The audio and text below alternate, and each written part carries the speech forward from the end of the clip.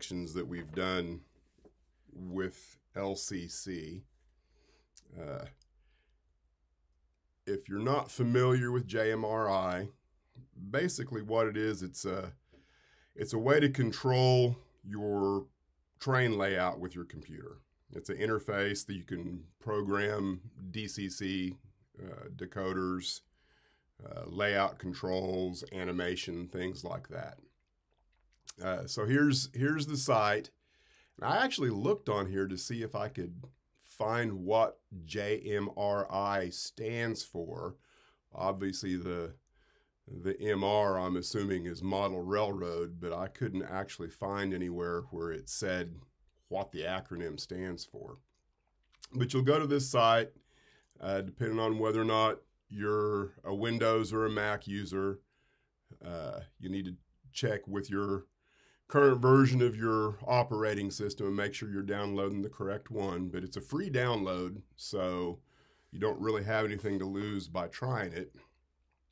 Uh, but uh, here's the site. Now, I've already downloaded it. And, excuse me. Uh, got it right here. Now, I have not configured it yet completely clean so that you can kind of see the, the step from beginning to end. So here it is pulled up. And the first thing I need to do is establish a connection. So you can see right here, by default, it comes up with a connection. And you can, you can have multiple connections, okay? Uh, for our purposes now, I'm just going to connect to one connection. All right, so the system manufacturer, depending on what you're making use of, you've got scroll down window here for lots of different things. Most people use Digitrax. Uh, and that if you're using more than one system, that's what the multiple connections are for. So for our purposes today, we're going to scroll down here to where Open LCB is because that's what we're actually going to connect with. Okay, now we're looking to our connection on the computer. Uh, let's see. Well, not yet. Yeah, here it is. So here, here is what I'm making use of, LCC buffer USB. So this is the actual device that I purchased from uh, RR-CirKits that should allow me to connect. Now we're looking for the actual port that we're plugged into on the computer. And let's see. It's not going to be anything that says Bluetooth. See, I'm going to guess it's this one right here. I've really only got two choices. Uh, so I'm going to go with that one and hope that that's it. Protocol settings, I'm not going to mess with that or the fast clock additional settings. The baud rate, I believe that is correct. So all that should be good. Uh, I'm going to hit save. So now we're going to have to restart. Uh,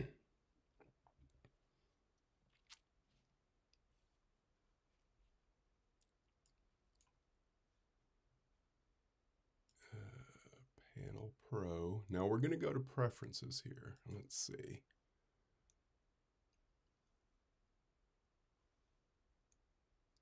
Okay, looks like everything's saved. Now here's here's the the overall menu for everything you can do. You've got your file that's uh, decoder definitions and whatnot. I haven't messed with any of that yet. Roster, you can create rosters for your uh, your power and things like that. You got your panels. This is pretty important because you're probably going to have to have a panel to, to do anything with. And then here's the open LCB.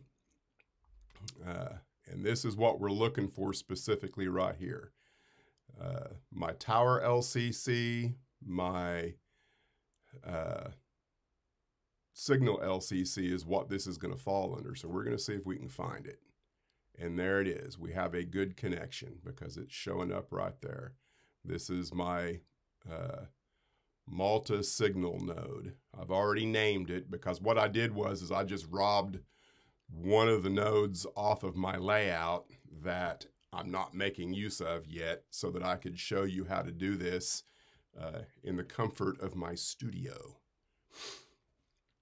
So you hit this drop down and you have open configuration dialog. So that's what we're going to hit. And now it's communicating. You can see all the bytes scrolling through there.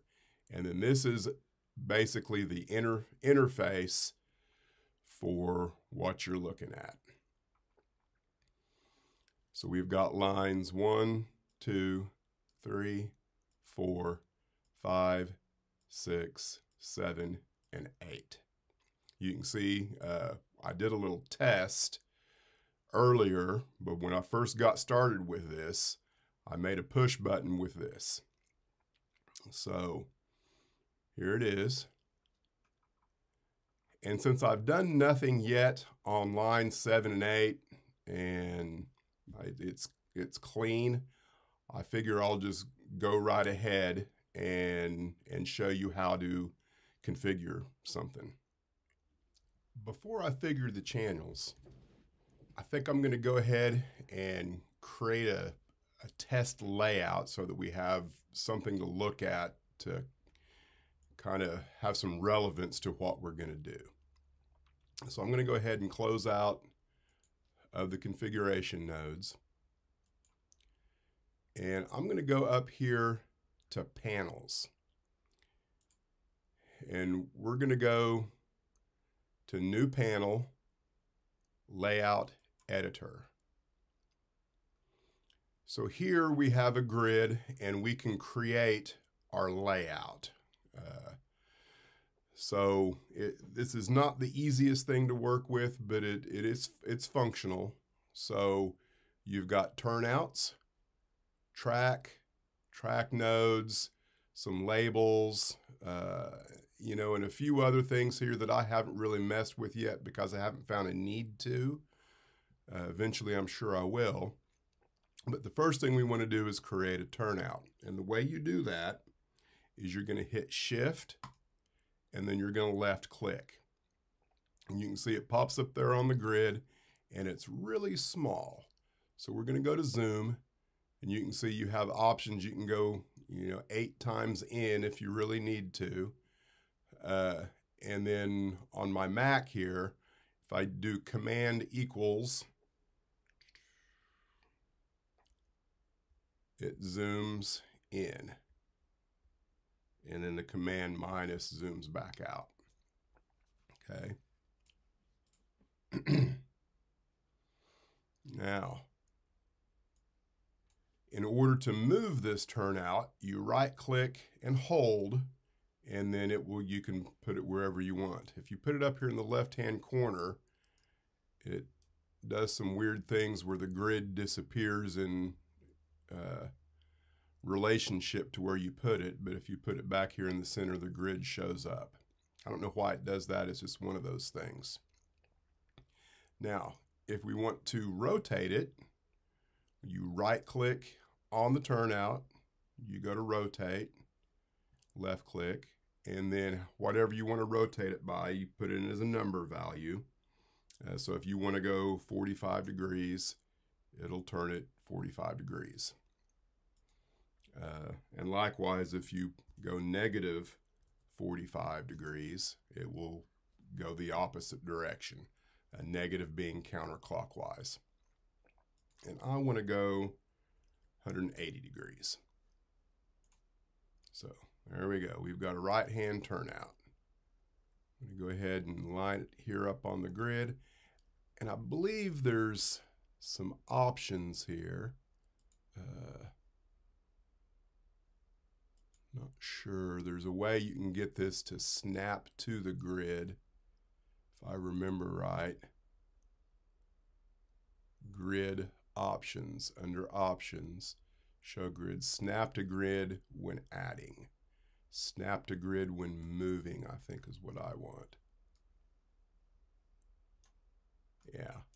So now it's going to perfectly line up with the grid somewhere. I'm going to put it right here dead center of the screen. And I'm going to go ahead and zoom in uh, a little more.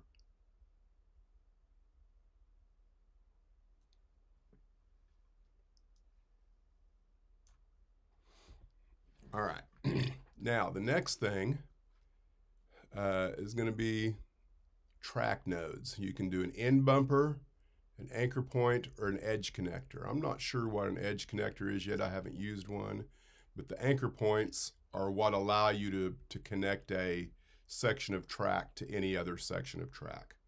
So again, you're going to hit shift and left click, and then that is your anchor point. And then you can move that anchor point wherever you want to.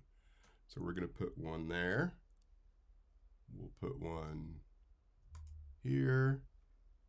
And we'll put one here. Now you can see every time you move this out, the grid moves further away from it. All right, so that looks pretty good.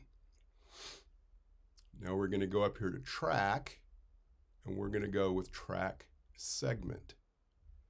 Again, I'm going to shift left click on the anchor point, and then now you can draw where you want your track to connect. So you draw it over here, and you let go of your left click. Shift, left click, let go. Shift, left click, let go. and so we've got a, a little test track here. So each of these circles are a, think of them as a node to, to see what you've got going on. Uh, different items here, and the edit is what we'll be doing mostly. But each of, each of these are going to be a, a block for our block detection. And this may be a representation of, it could be a representation of, you know, three sections of flex track put together all in the same block. Uh, you can also manipulate the, uh, the turnout a little bit too. Uh, you can see how that works. If you move this one, the other one's always going to move too. But that's, uh, that's what we're going to ride with right there. We've got a turnout and we've got three blocks so that we can put our information from our configuration nodes into these different elements. Uh, the next thing we need to do once we've got this the way we want it, we're going to go to File, and we're going to store panels. And I've already done this once. I'm going to override it and save it. Okay, there we go. Let's uh, go back to our configuration node. So back up here at the top at the OpenLCB, configure nodes, and we're looking for this node here. And if you had, uh, you know, multiple nodes, multiple different uh, devices, this is where it would show up at. Open configuration dialog, and here we are. So this is where we make all the changes and configure everything that we want to make happen. So right here, you can see the node name. You have the name and the description. And there's lots of different ways you could do this. Uh, the way I'm going to do it is you can see this is my proposed larger layout. And this is the actual uh, time saver that, that I've built. And in within the larger layout, it is actually uh, the town of Malta. is what I'm calling it. So that's exactly how I'm going to label it. And I'm also going to use the device name. This this is a Signal LCC, so uh, Signal Tower.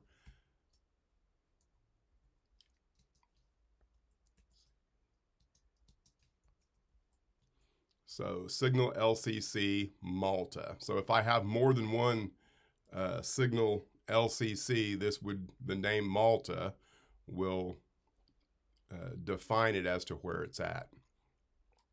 And then what do I want this actual device to do? And when it's when it's orange like that, you have to hit right in order for the changes to occur. Uh, in the description, I just I want it to to describe exactly what I want it to do. And on this for this test thing, uh, you know, we're just going to do some some testing. So I'm just going to put test for Malta. And eventually I'll change that when I actually make use of it.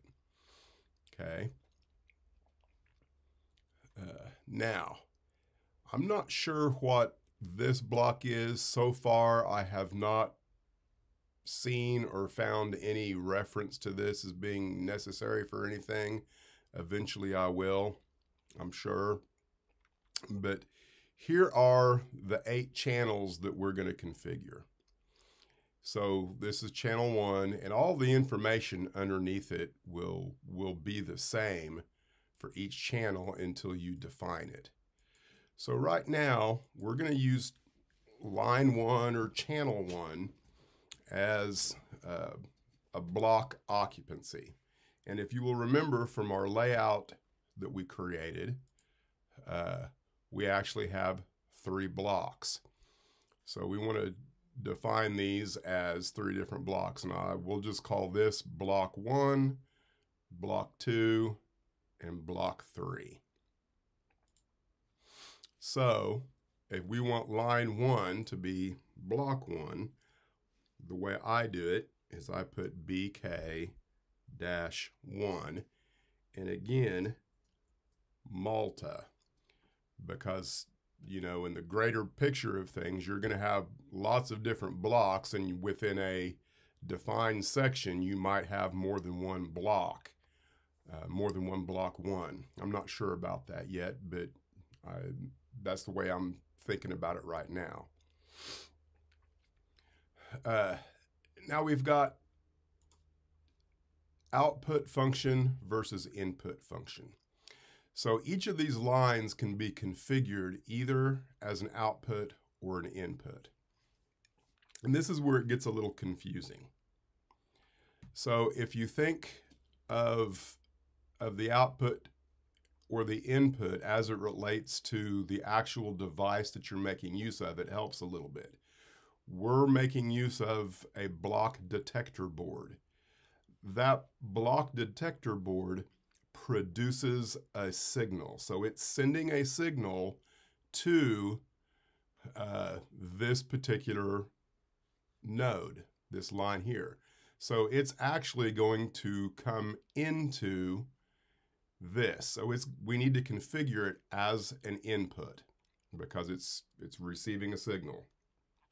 Okay. Uh, then as you scroll, and, and it is from the factory already set up for active low. Each of these has a drop down where you have multiple different categories or options in which you can configure it.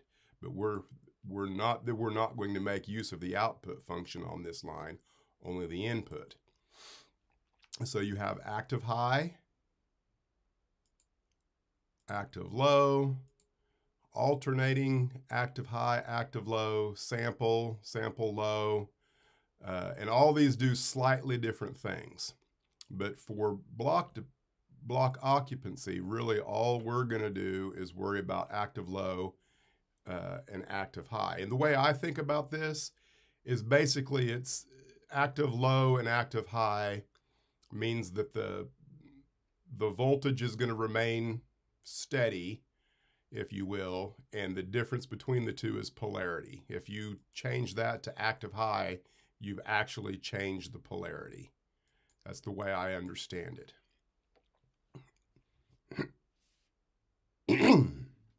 okay, then we have the events. So line one can uh, create either consumer events or producer events. And so it can actually create six different consumer events and six different producer events. So the way to think about this, a producer, if you will, creates a signal in which something else is going to see. And then a consumer uh, actually sees the signal and acts on it, if, if that makes sense to you. Consumers acts on events, producers create events.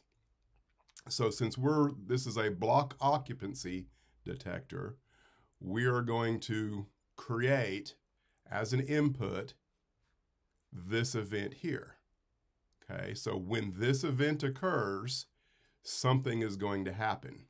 Okay, and so with it just like it is, what we need to do is we need to create a sensor that is this particular ID number. And you can kind of think of this ID number as almost as like a decoder number, if you will. This, this is a very unique number. And if you'll actually look, the last two digits are 00, zero, event 2 will be 01, 02, 03, so on and so forth. So each of these events here are numerically in order with the first event. And it will be the same way down here in the producer events, where this ends, the first event ends in 06, 7, 8, 9, so on and so forth. So since we're going to uh, produce an event for block occupancy, here's kind of how that works. You're, you're taking information from the tracks, you're producing uh, an event in which JMRI will actually be the consumer and then our track will light up you know that we created on the the actual layout. So that's kind of how that works. Uh, we're producing a signal and then JMRI is actually going to consume the information. So to do that we need this event to trigger something here. So this is block one. We need this event to highlight that track. So what we do is we come down here at the very bottom and you can see this where it says sensor turnout creation. Okay, so you can see right here this event ID is blank. It's all zeros. All we have to do is come up to when this event occurs, because that's what we're doing. When the event occurs, we're going to copy and we're going to paste there. So that is going to be the active. Okay, now event two up here will be the opposite. This is, think of this as the on and this is the off. So now we're going to copy that and you can see that the event number is one, one different. Copy, and we're going to paste down here. So you can see the ID event is on for active with 00, 0, and it is closed or off for 0, 1. So we're going to now make a sensor. We have just made a sensor. Okay, now, what is the sensor going to do? Right now it's doing nothing because we've, we've got it set to none. So in event one, we want it to be on active. In event two, we want it to be off inactive.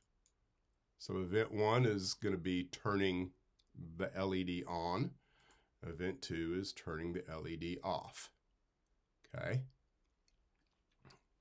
And and you know, physically how that works is is when the train comes onto this block because we have a CT coil that I've I've showed you in my previous videos. The CT coil picks up the the resistance between the rails and it produces a signal to the to the detector board and then the detector board uh, then produces this number right here. So now what we're going to do is we're going to edit this.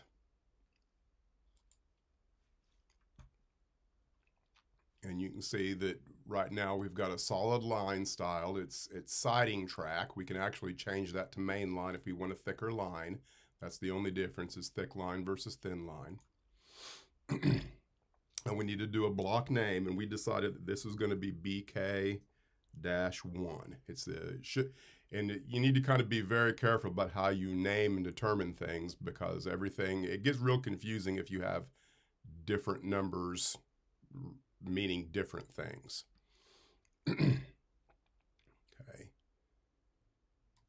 Done.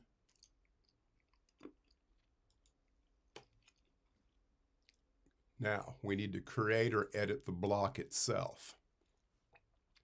So we created a sensor and we need to find that sensor. There it is. So all we have to do now is hit that, hit apply, and we're good to go.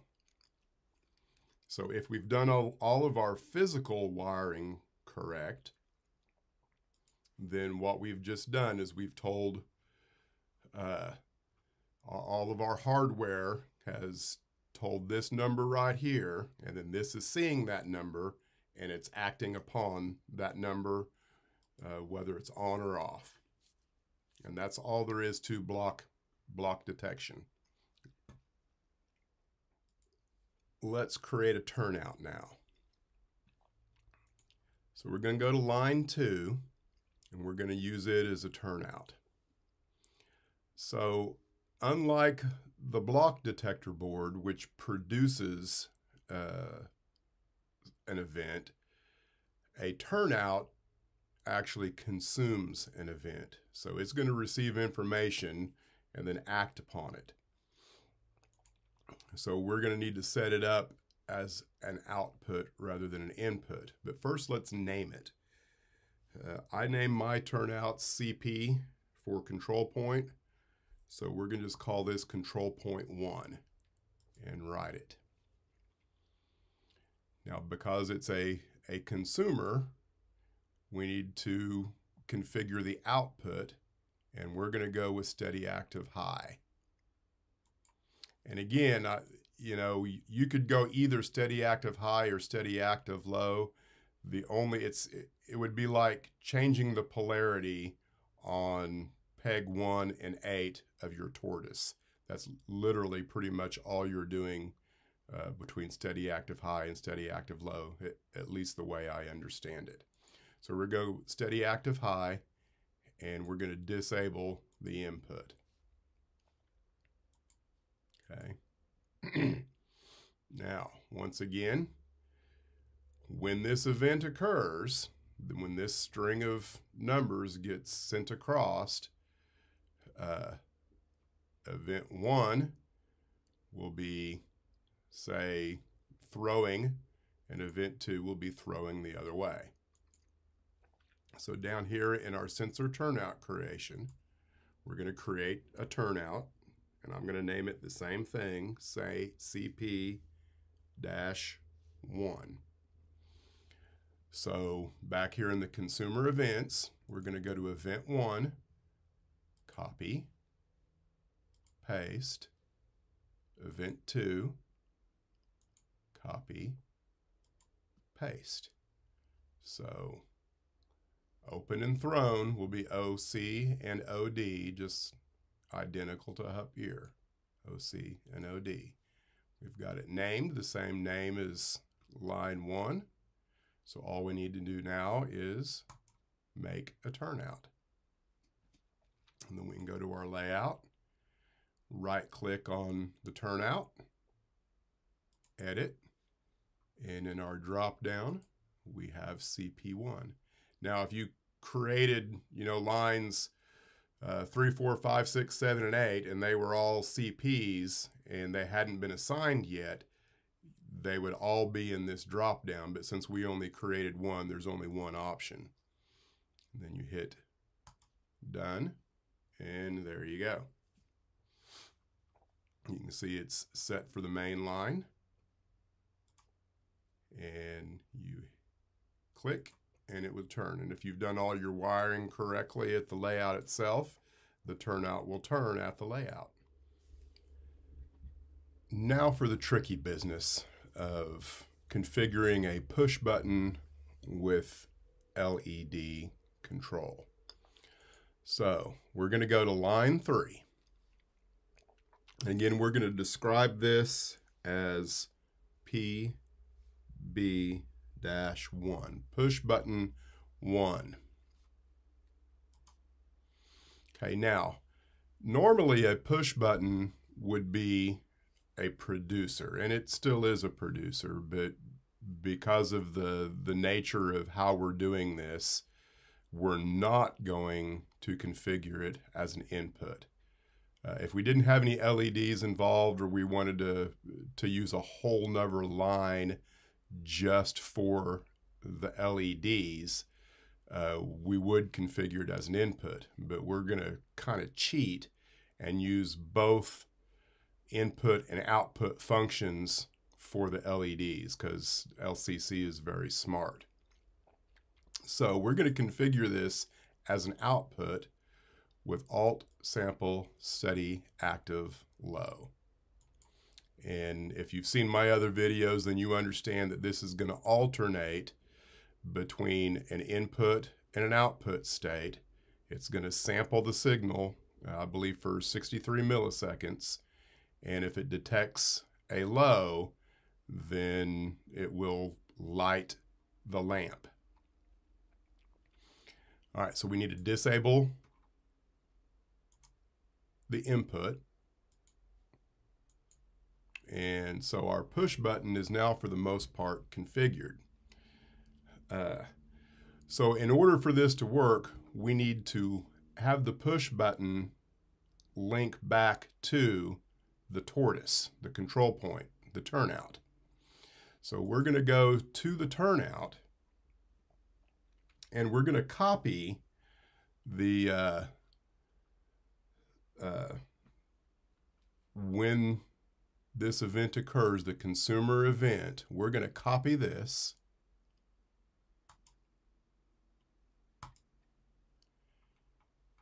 And we're going to go back to the push button and we're going to paste it in this section, the producer section, when this event will be sent.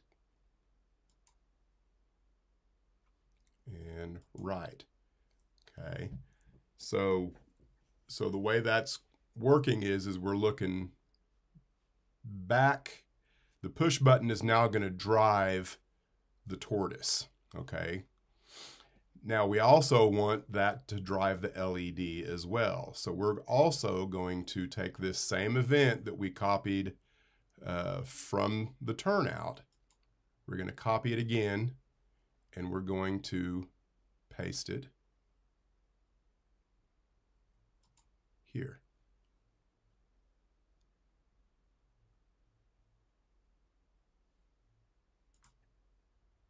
Okay. That's event one. We need to do the same thing with event two. So we're going to go back to the turnout and we're going to go Oops, I think I was already on event two.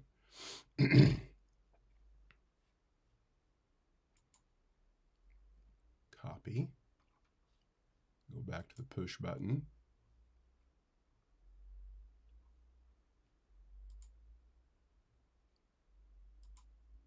Paste. Right. And then copy again. Paste, and write. On events one and events two that we've copied and pasted from our producer section into our consumer uh, section from the push button is that these have to be turned on. Event we'll go event one is online active and event two line off inactive. So this is going to turn your light off and on as it is reading what's going on with the turnout. Because this is the this is the consumer events from the turnout reading as a producer. And then these are thrown up here being read as a consumer. Clear as mud and then if we've done everything right then when we push the push button uh, the way the electric circuitry will work is if it's if it's at a low, then our LED will turn on, and we push the but, push button again, it will detect a high and turn off. It's an off and on. And I'm sure that that makes no sense to anybody. Uh, it's, it's it's it's it's a lot simpler than than it really looks, and it's hard to understand until you've done it yourself a few times. Uh, and and all I can say is, if you've messed with any CV values on a decoder with a train uh, it's really no different than that. It's just kind of understanding the interface of how you get what you want out of the devices that you have. But uh, I said I would do this, so I have, and uh, I'm going to move on to other things that are less tedious and technical, uh, and I will talk to you guys later.